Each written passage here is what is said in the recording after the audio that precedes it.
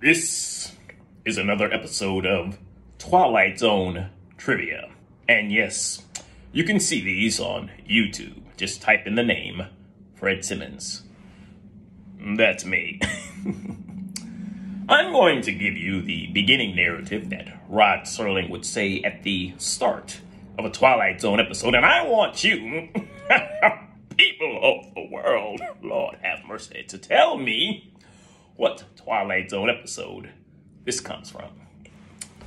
Let us begin. Stay with me on this one right here. Mr.